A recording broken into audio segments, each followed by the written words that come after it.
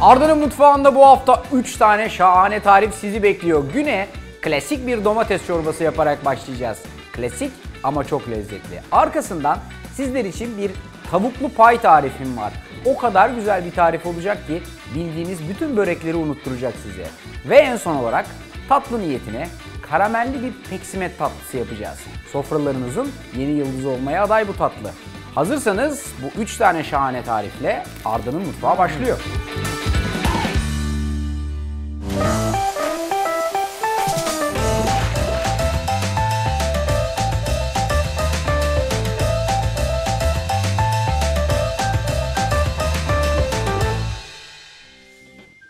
Bugünkü şahane Arda'nın mutfağı bölümünde gerçekten 3 tane çok güzel lezzetli tarif yapıyoruz. Yani bu tarifleri yaptığınız zaman mutfakta size karşı duyulan hayranlık ve sempati oranı birazcık daha artacak emin olun. Ama ne yapmamız lazım? Size verdiğim bütün püf noktalarını teker teker detaylı şekilde uygulamanız lazım. Benden söylemesi. Aklınıza böyle durumlarda şey gelsin. Berliner tarifi. Böyle net uygulayanlar sosyal medyada paylaştılar o tarifi. Ortaya çıkan sonuç şahane. Şimdi bakın öncelikle bir su bardağı kadar toz şekeri evinizdeki en geniş, en geniş tavaya böyle dökmenizi istiyorum. Bir su bardağı yeterli olacaktır bu tarif için. Hani daha çok yapayım 2 su bardağı 3 su bardağı derseniz şeker katmanı kalınlaşır. Karamelize işlemi daha da zorlaşır. Benden söylemesi. Sonra alacaksınız tavayı. Böyle şekeri mümkün olduğu kadar eşit olacak şekilde içerisine yayacaksınız. Yani şöyle olmasın bak. Şöyle olmasın. Hani bir tarafta fazla bir tarafta eksik. Böyle kalmasın. Mümkün olduğu kadar eşit bir yüzey olacak şekilde yayın. Ondan sonra da bu arkadaşı ocağın üstüne alın. Altını yakın ocağın. Yani şekerin altını yakın ve hafiften kısın altını. Kontrollü bir ısıda burada bu yavaş yavaş yavaş yavaş karamelize olmaya başlasın. Bunun bir süresi yoktur. Şu kadar dakika, bu kadar dakika vesaire bir şey diyemem. Isıya göre çok değişkenlik gösterir. Sadece şunu söyleyebilirim size hiç dokunmayacaksınız. Kendi haline bırakacaksınız bu arkadaşı. Kenarlardan yavaş yavaş olmaya başlayacak. Ortadan kenarlara doğru açılacak. Bu iş tamam olacak. O olurken ben hızlıca sizin için hazırlayacağım tavuk payın ufak bir hazırlığı var. Onu yapayım. Bir tabanını e, fırında pişirerek işe başlayacağız çünkü. Normal şartlarda bunu bir hamur yaparak, bir hamur açarak e, yaptığım tariflerden bir tanesi. Fakat çok daha pratik olsun diye yufkadan yapacağım. İnanılmaz bir sonuç ortaya çıkıyor. Bana güvenebilirsiniz. Fakat yufkaları biraz ıslatmamız lazım. Neyle? Hemen söyleyeyim size. Yarım bardak reçetesiyle çalışacağımız 3 tane sıvıya ihtiyacımız var. Bir, yarım bardak maden suyu. Kapağını düzgün açarsanız laps diye kapatıp ilerleyen günlerde kullanmak isterseniz hani günler değil de aynı gün içinde kullanabilirsiniz. Yarım su bardak, yarım su bardağı maden suyu. Üzerine yarım bardak kadar süt ekleyeceğim. Şöyle. Ve aynı bardakla çalışmaya devam edebilirim. Yarım bardak kadar da zeytinyağı ekleyeceğim. Bu bayağı aromatik bir börek olacağı için zeytinyağı kullanıyorum ama isterseniz hani zeytinyağı bana çok e, hani kokulu, dokulu geliyor derseniz ayçiçek yağı da kullanabilirsiniz. Sonra da bu üç sıvıyı şöyle güzelce bir çırparak yufkalarımızı banyo yaptıracağımız tabana hazırlamış oluyoruz. Şimdi normal şartlarda aslına bakarsanız bu güzel bir karışım, iyi bir solüsyon. Daha çıtır yapmak istiyorum ben tereyağı kullanabilir miyim Arda sorularını hafiften duyar gibi oluyorum. Yani eriterek kullanabilirsiniz ama e, zeytinyağında da gayet iyi bir sonuç alıyorsunuz. Benden söylemesi. Bakınız iki tane yufkamız var elimizin altında. Bir tane de böyle yuvarlak, hafif böyle elips şeklinde benimki. Yuvarlakları olur vesairesi olur. Eldeki bütün kalıplarda olur. Fırına girebilen cam kalıplarda olur. Olur Allah olur. Dert tasa yok ama ben bunu böyle bir pay şeklinde yapacağım için şu kenara böyle fink finkli olanlarda yapıyorum. Bir kere önce şunun tabanını hafiften bir parça tereyağla yağlıyorum. Bu e, çok gerekli mi? Yani olsa da olur, olmasa da olur ama dip tarafının da güzel bir e, tatlı bir renk almasını istiyorsak kenarını şöyle ve tabanını azıcık yağlayacağız. Sonra buradan yufkalardan bir tanesini dikkatli vaziyette açtım. Yırtılmaya aday bu arkadaş her zaman biliyorsunuz. Sonra alıp şöyle direkt olarak buradaki hazırladığım solüsyonun içerisine batırdım. Şimdi bu sıvıyı çektikçe ee, yırtılmaya daha da aday oluyor.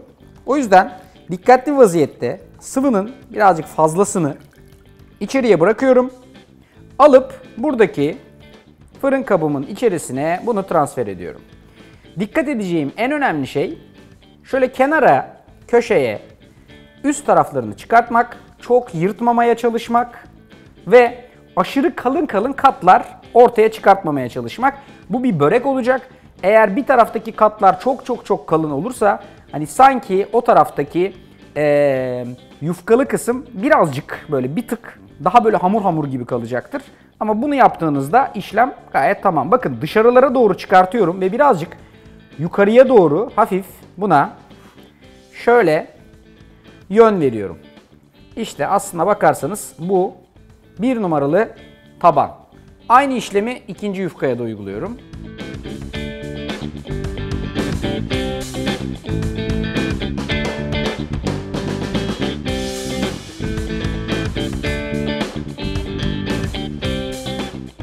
İkinci katı da aynen böyle serptim. Bak gördüğünüz gibi son derece natürel, böyle doğal doğal dalgaları var. Çıktığı zaman çok da güzel olacak bu. O yüzden bu konuda birazcık böyle el işinizi çalıştırın.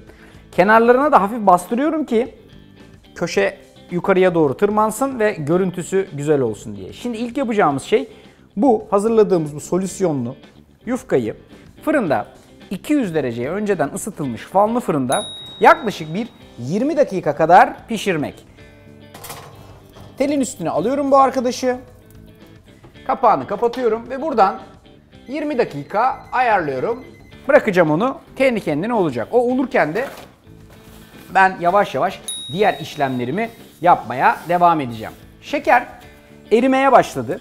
Bu işlemi eğer hızlı yaparsak ister istemez şekeri yakarız. Sonra da kontrol edemeyiz. O yüzden bırakın o kontrollü kendi halinde yavaş yavaş olsun.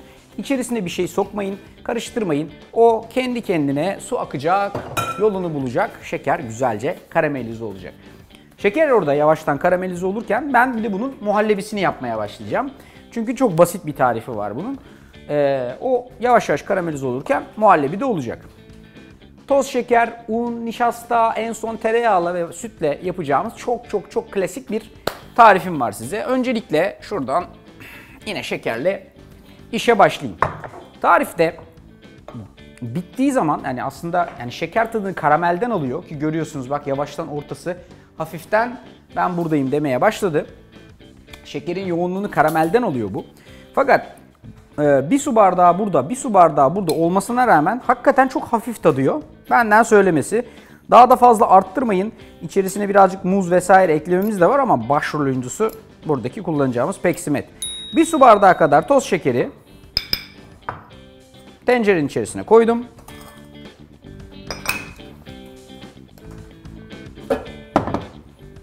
Üstüne birazcık kıvamı bağlasın diye un ilave ediyorum ama çok çok fazla değil.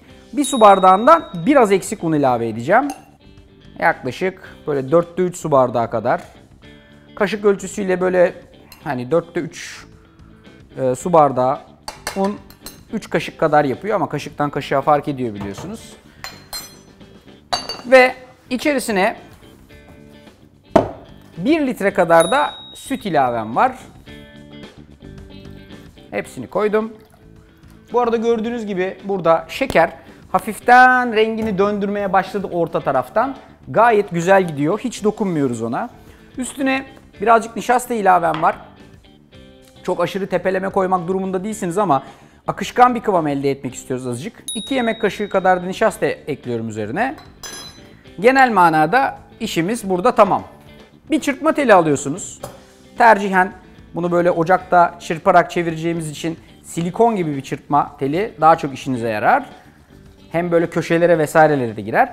Ocağın üstüne almadan her şeyi içeride güzelce bir çırpıyorum ki ısıyla beraber özellikle nişasta hızlıca toparlanmasın diye, topaklanmasın diye. Çırptıktan sonra da geçiyorum ocağın üstüne. Bunu ocağa alıyorum ve altını yakıp çırpa çırpa bunu böyle hafiften bir muhallebi kıvamına getirmeye başlıyorum. Karameli göstereceğim size. Bak şimdi karamelin burası renk aldı fakat bu taraflar henüz almadı. Eğer böyle bırakırsam bu taraflar renk alana kadar burası biraz yanma noktasına doğru gider. Yapacağım tek şey bunun ocağın üstünde birazcık yerini değiştirmek. Hiç ellemeden buranın ısısını bir tık düşürüp buranın ısısını bir tık arttırarak dengeli bir hale getirmeye çalışıyorum. O sırada bu arkadaşın da başından ayrılmadan güzelce karıştırmanız lazım. Bu iki işlemi yaparken eğer kendinize güveniniz varsa bir de bunun kremasını çırpıp hızlıca bir soğutmanızı isteyeceğim sizden. Bir paket yani 200 gram kadar kremayı böyle derin bir kabın içerisine alıyorum. Karamel erirken, karamel olurken buradaki muhallebim de hafiften ısınmaya başlarken kremayı güzelce çırpıyorum. Kremayı çırptım. iyice gövdelendirdim ama bu arkadaşı da asla zinhar kendi halinde bırakmadım. Zinhar da dönem dizilerinden ağzında kaldı herhalde. Burada da bak karamel oldu.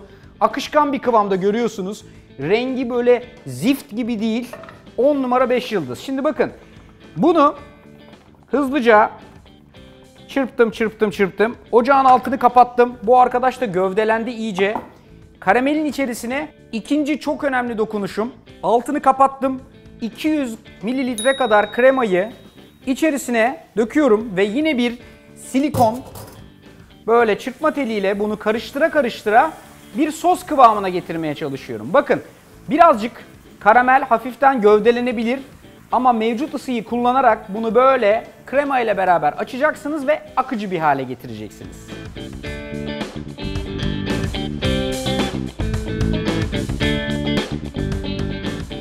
Nefis bir karamel.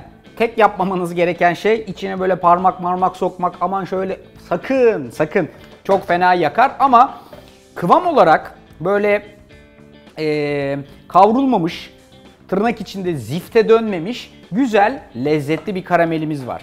Şimdi ben bu tarif özelinde bunu yapıyorum. Normalde bu akışkan karameli sos olarak trilişe vesaire vesaire yaparken de gayet kullanabilirsiniz.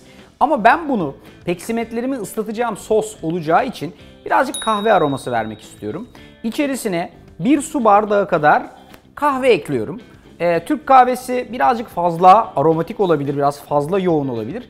Onun yerine böyle bir filtre kahve, hazır granül kahveler ve benzeri tarz bir şeyle istediğiniz kahve aromasını daha çok ortaya çıkarabilirsiniz. Bakın rengi iyice açıldı. Artık tam manasıyla bir karamel sos değil bu. Kahveli ve peksimetleri çok da güzel ıslatacak lezzetli, güzel bir sos. Çok mu sıvı oldu? Açarsanız altını birazcık tıkırdatırsınız, birazcık çektirirsiniz. Bu iş tamam olur. Bence gayet güzel çünkü peksimetleri iyice ıslatsın. Ona çok da güzel bir lezzet versin istiyorum ben. Bu iş tamam. Hemen buradaki muhallebiye dönüyorum. Çırptım. Kontrollü bir ısıda yaptığım için bu un tatmıyor. Gayet de güzel kıvamı var. Artık buradaki kremayla birleştirebilirim. Öncelikle şöyle yapıyorum. Bu arkadaşı derin bir kabın içine alıyorum. Krema ile birleştirmeden önce hem azıcık soğutuyorum hem de kıvam bağlama operasyonları. İçerisine bir parçacık tereyağı atıyorum. Her zaman bu yapılan muhallebilerde biliyorsunuz ki rengini birazcık parlatır hem hem de soğudukça kıvamını bağlar. Birazcık da toz vanilya ilave ediyorum. Şöyle güzelce karıştırıp çırpıyorum. Mevcut ısı zaten bunları hızlıca reaksiyona sokacak. Bu işlemi tencerenin içerisinde de yapabilirsiniz. Çok dert tasa yok. Arkasından daha lezzetli bir hale gelsin diye işin içerisine bir kutu 200 gram kadar labne peyniri ekleyeceğim. Bu labne peynirini şöyle yaptım. Bakınız. Bir tülbentin içerisinde var olan fazla suyundan ayırmaya çalıştım. Şurada kasenin dibinde labnenin labneden çıkan aslında bu bir nevi peynir altı suyunu görüyorsunuz. Eğer bunu ayırmazsanız birazcık fazla ıslatacaktır. Benden tavsiye eklerken böyle bir ufak detayla hayatınızı kolaylaştırabilirsiniz. Arkasından da alıyorum. Bir paket kadar 200 gram labneyi içerisine ekliyorum ve labne içeride pürüzsüz bir kıvam alana kadar da böyle güzelce çırpmaya devam ediyorum. Bu işte tamam. Kremayı da buna ekleyeceğim. Ve gerçekten mükemmel kıvamlı, çok lezzetli, birçok farklı üründe kullanabileceğiniz tarzda bir hani tırnak içinde söylüyorum alternatif bir pastacı kreması elde etmeye çalışacağım. En güzeli de bu işin içerisinde hiç yumurta kullanmıyor olmak. Hani bazen bana yazıyorsunuz e, işte Arda içinde yumurta olmadan bunu nasıl yapabiliriz? Arda şöyle bir alerjen madde olmadan nasıl yapabiliriz diye. Yani bu onun için hazırlanmış bir formül değil. Fakat alternatif yoldan hızlıca sizi lezzetli ve başarılı bir kıvama götürecek olan bir model yapmaya çalıştım. Bakınız şimdi kremayı ekleyince fırındaki bağırıyor. Kremayı ekleyince bunun kıvamı böyle blup blup blup blup oluyor. Gerçekten enteresan bir kıvam. Böyle bir kıvam nasıl başka türlü anlatılır bilmiyorum ama blup blup oluyor. Diğer taraftan da hey yavrum hey şunun güzelliğine bak. Sadece yufka ve birazcık da kendi hazırladığımız solüsyonumuzla bu arkadaşın ilk etap pişirmesini bitirdik. Bakınız, bakınız. Kenarları, köşesi, şekli, şemali gayet güzel kabarmış ve yükselmiş vaziyette. Bu birazcık kendi kendine hafiften çökecek. Çökmezse de biz üstüne doğru bastıracağız ve bunu çökerteceğiz. Ortasını şöyle.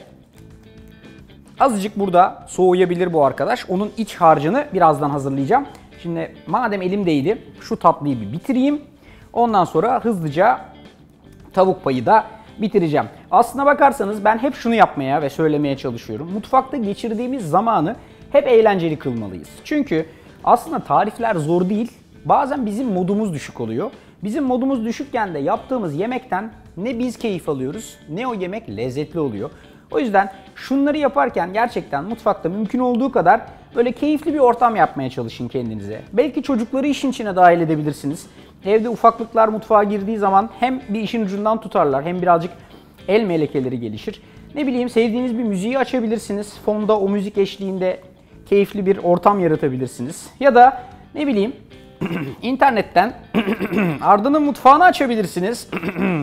Arka fonda ben yine böyle bıdır bıdır konuşmaya devam ederken siz o günün tarifini belki daha keyifli yaparsınız. Bilmiyorum artık. Ya da şey diyebilirsiniz yani zaten çocuk televizyonda yeteri kadar konuşuyor. Bir de burada konuşmasın maazallah da diyebilirsiniz. Bu fikir, görüş ve önerilerinizi lütfen sosyal medya üzerinden benimle paylaşın. Instagram'daki Arda Türkmen sayfasında benimle ilgili bugünkü tariflerle ilgili yönlendirmelerinizi bekliyor olacağım. Tariflerin detaylı ilgili yönlendirmeleri de yine Instagram'daki Arda Türkmen sayfasından yapıyor olacağım. Bu ufak bilgiyi de vereyim. Şimdi bakın buradaki krema böyle dediğim gibi böyle blup blup bir hale ve şekle dönüştü. Son derece güzel bir üçlümüz var. Kremamız, karamelimiz, burada peksimetlerimiz ve bir de böyle bir cam kabımız var. Bunu da sizin için ölçeyim. Tam ebadını, şeklini, şemalini. Yaklaşık 19,5. 20'ye 28. Hani işte böyle 20'ye 30, 5-5,5 santimde yüksekliği var. 20'ye 30 bir kap diyelim. Burada çalışmaya başlayacağız. Bakınız şöyle yapıyorum önce. Buradaki hazırladığım lezzetli kremadan alıp birazcık bu kabın tabanına döküyorum. Çok değil. Sadece taban böyle çıplak çıplak kalmasın diye. Sonra bir kaşıkla şöyle güzelce yayıyorum hızlıca. Ara ve üst katlar için daha çok kremaya ihtiyacınız olacak. Onu unutmayın. Taban mümkün olduğu kadar ince. Şimdi sıra geldi şu peksimetli katmana. Buradaki bakın lezzetli karamel sosu. Bak şöyle. Tatlı bir kahverengi görüyorsunuz burada. Mükemmel bir kıvamda ve gerçekten de mis gibi kahve kokuyor. Çok iyi gidiyoruz. 10 numara 5 yıldız bir kıvamdayız. Peksimetleri alıyorsunuz. Soğuduğundan emin olun ama. Bir tarafını hafif bu sosa buluyorsunuz. Kaldırıp hızlıca diğer tarafını da buluyorsunuz ve buradaki kabınızın içerisine bunu dikkatli vaziyette diziyorsunuz. Bir katı komple bunlardan yapacağız.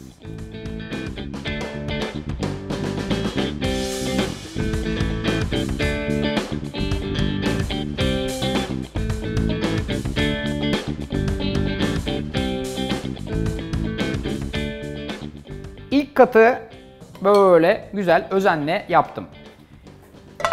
Araya birazcık muz atmak istiyorum.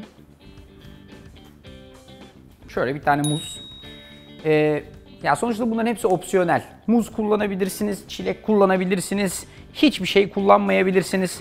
Top sizde. İstediğiniz, sevdiğiniz bir meyve ve benzeri bir şeyle arayı doldurabilirsiniz ya da yani hakikaten hiç işim olmaz. Bu zaten yeterince lezzetli de diyebilirsiniz. Dikkat ettiyseniz hafif böyle kahverengiye doğru dönen olgun bir muz kullanıyorum. Çünkü böyle tatlıların içerisinde hani şeyi istemezsiniz. Böyle dıştan rengi çok güzel görüntüsü ama tadı böyle kıtır kıtır olan muzlardan istemezsiniz. İnce ince doğruyorsunuz muzunuzu.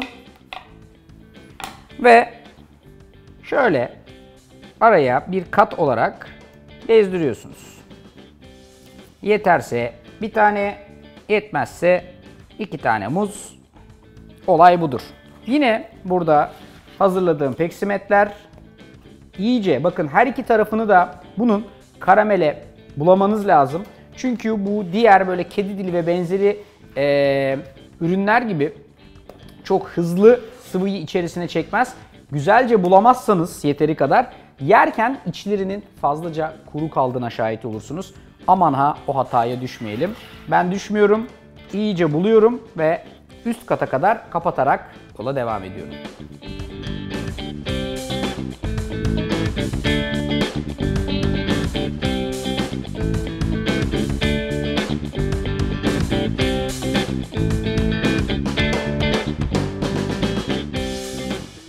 Bu arkadaşımızın işi tamam. Şimdi gördüğünüz gibi burada birazcık karamelim kaldı. Sos. Şu anda dökmeyeceğim üstüne. Eğer isterseniz bu karamel sosunu soğuttuktan sonra servis ederken de dökebilirsiniz. Birazcık kalıp alsın, birazcık soğusun hafiften. Ondan sonra üstüne isterseniz bu kalan karamel sosunu dökersiniz. İsterseniz kakao dökersiniz. Ne isterseniz yaparsınız. O noktada top sizde. Elinizde çok çok çok lezzetli bir karamel sosu var. Benden söylemesi. Hadi şimdi gelin hızlanalım şu tavuğun işlemine bir geçelim. Çünkü taban olarak bekleyen arkadaşımız hazır. Biz buna hızlıca bir baz beşamel yapacağız. İçerisine de tavuk kalçaları, haşladığımız tavuk kalçaları alıp işi bitireceğiz. Böyle bir derin e, minik bir tencerenin içerisinde çalışıyorum ve her zaman olduğu gibi beşamelin temel kuralını yapıyorum. Ne kadar ekmek o kadar köfte derlerdi bizim oralarda eskiden. Ne kadar un koyuyorsanız o kadar da tereyağı ekleyerek dengeli bir baz hazırlayacaksınız. Yani şöyle bir ve iki tepeleme yemek kaşığı tereyağı koyduktan sonra tencerenin içerisine 2 yemek kaşığı da un ekliyorum. Etrafa döktüğüm tereyağlarını alayım. Ve unun kokusu çıkana kadar bunu güzelce kavuruyorum. Yaklaşık bir 4 dakika 5 dakika kadar iyice kavurmanızı öneririm size. Yoksa aksi durumda un birazcık çiğ kalacaktır.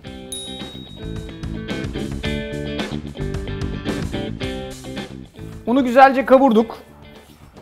Hafif altını kısabilirim. İlginç bir şey yapıyorum. Söyleyemedim. İlginç bir şey yapacağım.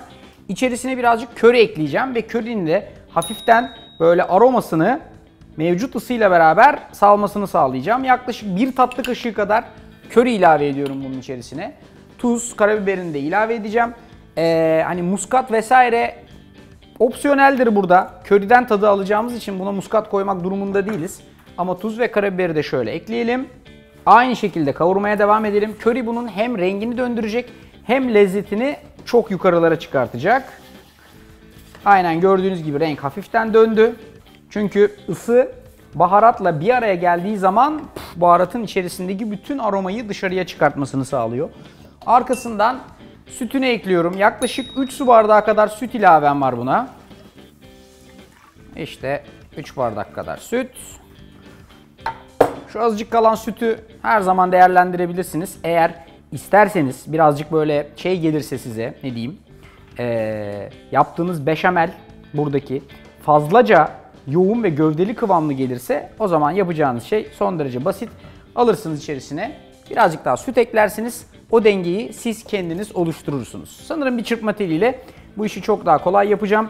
Çırparak hafiften tıkırdatıyorum ve bunu bir beşamel kıvamına getiriyorum.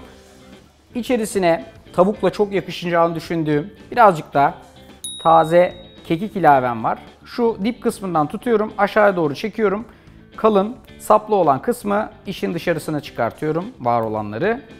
Bunları da alıp şöyle buradaki beşamelin içerisine ilave ediyorum. Ve hafiften çırpa çırpa çırpa bunu birazcık yoğunlaştıracağım. 3 tane tavuk kalça. Yani sadece bu but kısmı değil, şuradaki kalça kısmı da işin içine dahil. Görüyorsunuz karabiberler filan da kalmış. Bunları yaklaşık böyle 1-1,5 litre suyun içerisine soğan koydum. Birazcık kekik koydum taze elimde var diye. Havuç koydum.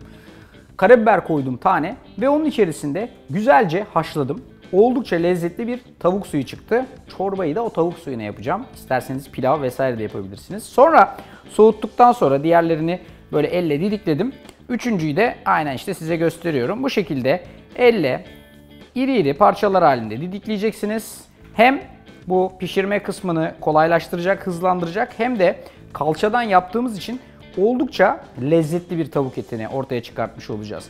Bana kalırsa aslında bu tarifi eğer yani yoksa kalça göğüs etinden de gayet güzel yapabilirsiniz. Çünkü içerideki her şey baharatlar vesaire aromalar oldukça yüksek.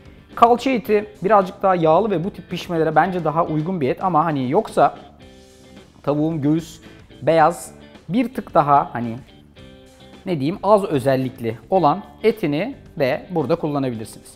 İyice bu arkadaşı böyle hafiften didikliyorsunuz. Kenarda köşede liflerini vesairesini çıkarttıktan sonra etlerin tamamını burada tabağın içerisine alıyorsunuz. Artık yavaştan beşamelle buluşturacağım. Bak birazcık sıvı kıvamda ama gözünüzde şöyle bir şey canlandırın. Bu arkadaş etle buluşacak. Tekrardan bunun içerisine girecek. Birazcık daha fırında hafiften pişecek. O yüzden çok çok çok kas katı bir kıvam aramıyoruz. Böyle hafif nemli ama birazcık gövdelenmiş bir beşamel kıvamı benim işime yarayacaktır. Artık bu dakika itibariyle hazırladığım bütün bu tavuğu alıp içerisine döküyorum.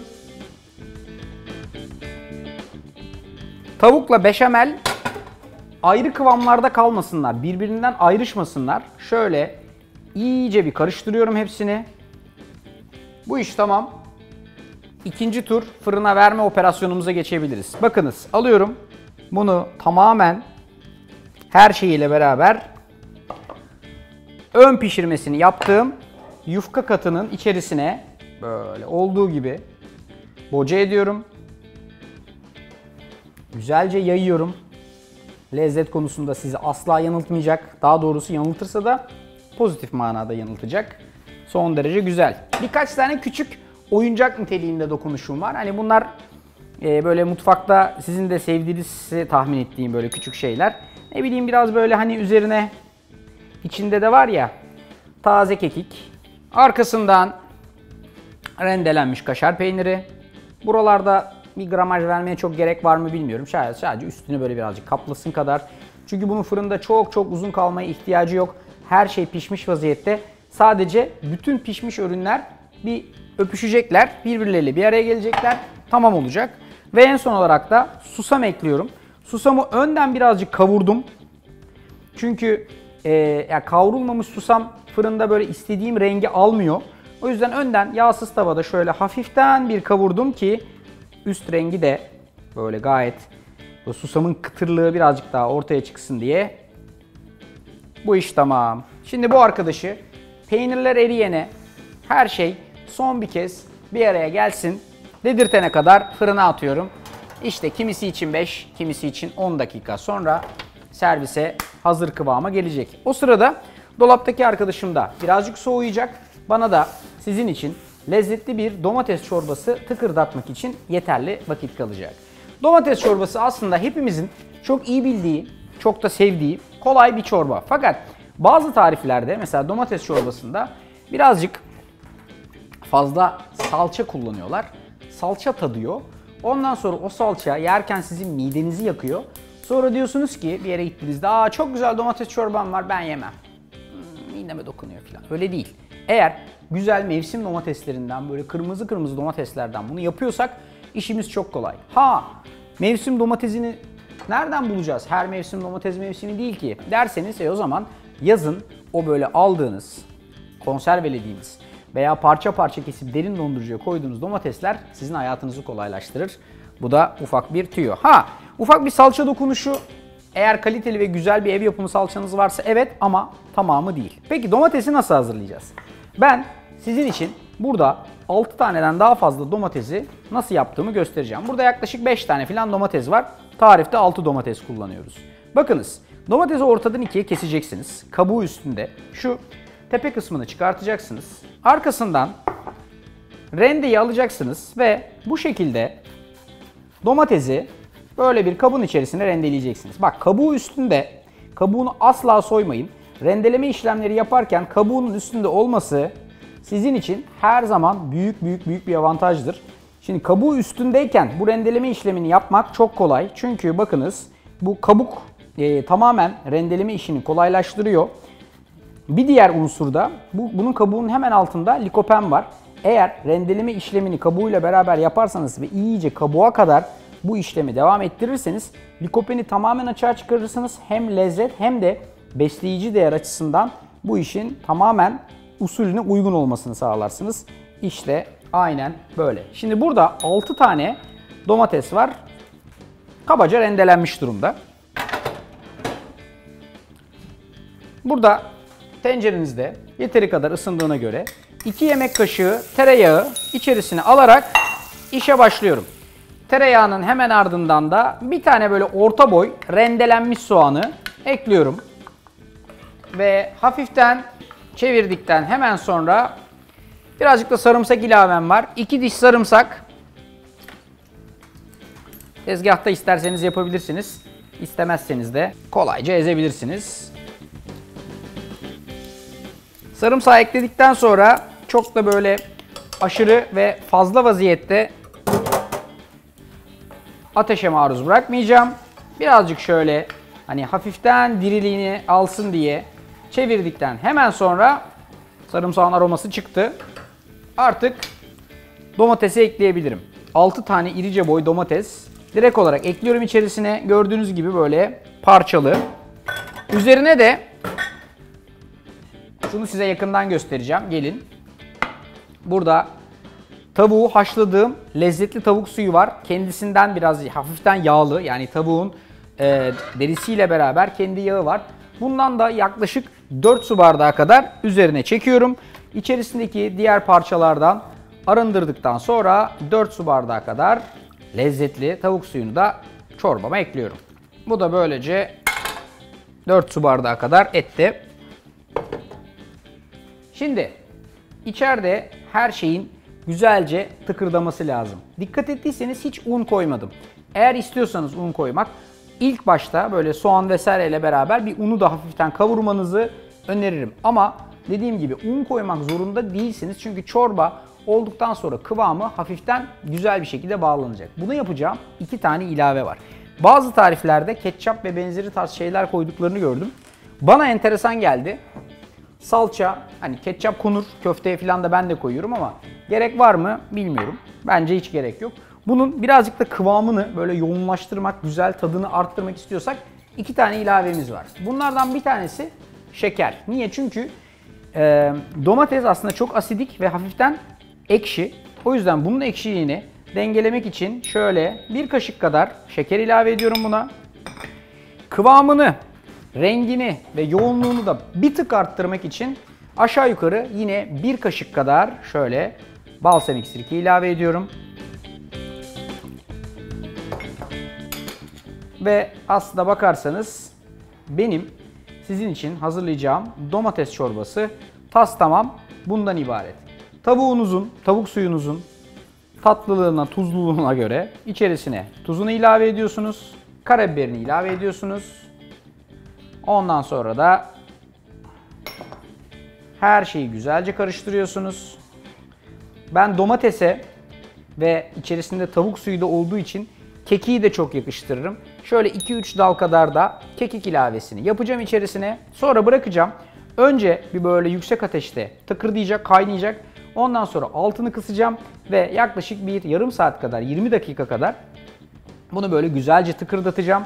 En son olarak da bir parçalayıcı sokacağım içerisine. Her şeyi paramparça edip bunu gayet lezzetli ve kıvamlı bir domates çorbası olarak servis edeceğim. Şöyle bir özet geçeyim size neler yaptığımızı. Bence fırındaki herhalde olmuştur. Fırındaki olmanın ötesine bile geçmiş. Müthiş bir kıvamda bak üstü tatlı bir renk almış. Artık bunu dikkatli vaziyette çıkartabilirim. Şunun mükemmelliğine bakar mısınız? Bak kenarından kalkıyor bile. Hop görüyor musunuz? Elimizi yakmadan. Birazcık bunu burada soğutacağım. Dolaptaki arkadaşın da iyice soğumasını bekliyorum. Bunun da birazcık böyle tıkırdama noktasına gelmesi lazım. Ondan sonra 20 dakika kadar tıkırdatacağım. Böyle bir içerisine parçalayıcı sokup her şeyi pürüzsüz kıvama getireceğim. Mükemmel bir çorba olacak. Orada biraz ortalığı toplarım. Bugünkü kapanış için sizleri hazır nazır bekliyor kıvamda. Burada dururum. Çorba lezzetli bir aslında börek ama ben pay diyeyim. Bir de şahane tatlıyla birazdan karşınızdayım.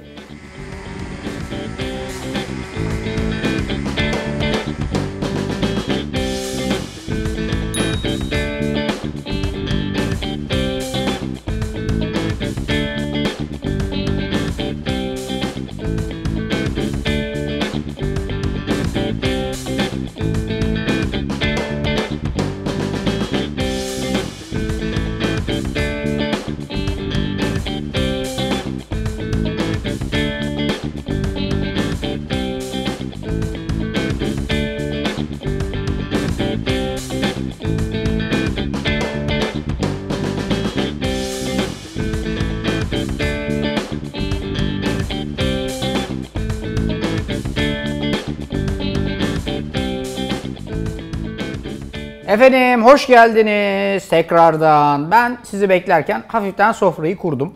Yani çok sevdiğimden midir? Ondan değil ama genelde adettendir. Bu domates çorbasının üstüne birazcık da böyle kaşar peyniri falan hafif rendelenir. İş tamam hale gelir ama kaşar peyniri rendeme, rendelemeden de önce bir 20 dakika kadar tıkırdattığınızda domates çorbası hafiften böyle bir kıvamlanıyor, azıcık helmeleniyor ve gerçekten içmeye hazır nazır bir kıvama geliyor. Un özellikle katmadım. Un katmamış hali bile biraz tıkırdadıktan sonra Uf. Oo. Böyle gayet yoğun, aromatik, tam da sevdiğim gibi. Hmm, hmm. Şahane bir çorba. Bak bundan böyle iki tas içeceksin. Gerçekten şifa niyetine tas tamam. Hmm, hmm. Hiç eksiği yok. Fazlası var. Ben size bir şey söyleyeyim mi? Nefis bir çorba. Bunu yapın. Domates çorbasıyla aranız bozuksa barışmak için iyi bir alternatif. Diğer taraftan gelelim buradaki tavuklu payımıza. Bak bundan böyle bir dilim kestim. Şöyle çıkarttım.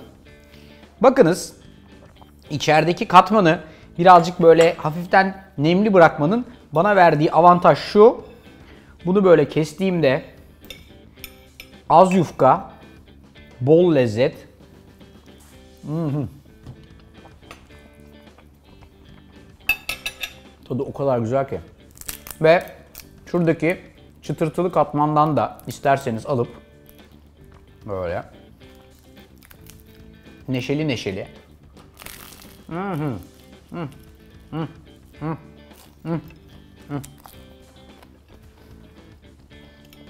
Yani eğer hafta içinde azıcık neşenizi kaybettiyseniz bu menü o kaybettiğiniz neşeyi yerine getirmek için birebir.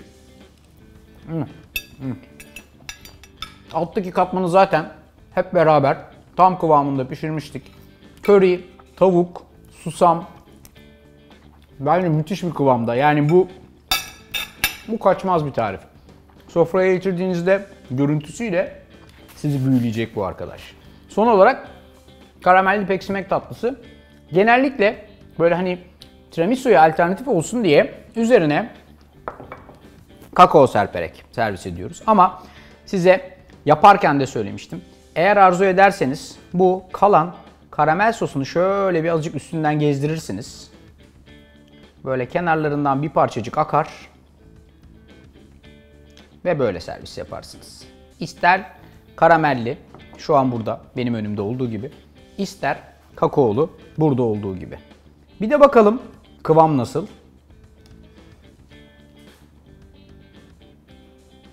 Buna hazır mısın Türkiye?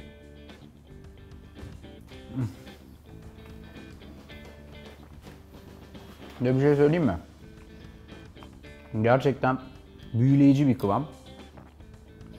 Ee, içindeki bütün bu peksimetin tamamen ayarında ıslandığını görebildiğinizi tahmin ediyorum. Kuru değil asla. Şurada hafif kahve ve karamelden nemini çekmiş vaziyette. İçerisinden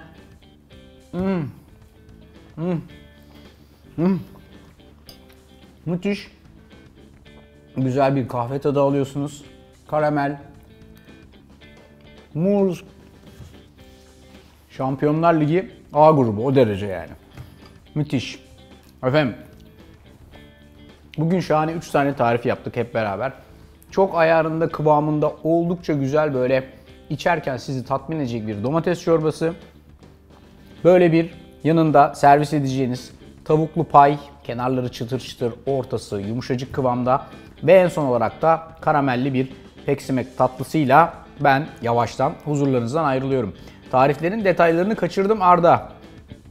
Yeniden bakmak istiyorum. Ne yapacağım derseniz şu an aşağıda görüyorsunuz Instagram'daki Arda Türkmen sayfasına girin. Oradan bütün yönlendirmeleri yapıyorum sizlerle. Bu tarifleri ben yapabiliyorsam siz de yapabilirsiniz ve mutfağınızda bu lezzetleri tanıştırabilirsiniz. Bir sonraki Arda'nın mutfağında görüşünceye dek kendinize çok çok iyi bakın. Bu tarifleri yapın. Sosyal medyadan da benimle, beni etiketleyerek benimle paylaşın. Hadi bekliyorum. Haftaya görüşelim. Kendinize çok iyi bakın. Karamelli peksimet tatlısından da uzak kalmayın. Kokuyor.